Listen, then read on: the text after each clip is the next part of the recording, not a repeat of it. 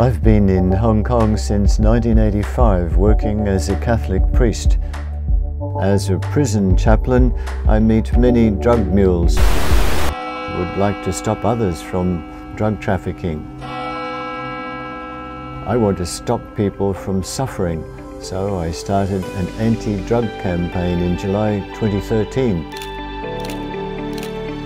I get inmates to write letters warning people not to follow their footsteps. Then I post the letters on my website and international blogs. I'm trying to persuade authorities to take more action against drug trafficking. To me, the spirit of Hong Kong is about being an honest and hard-working person who loves family life.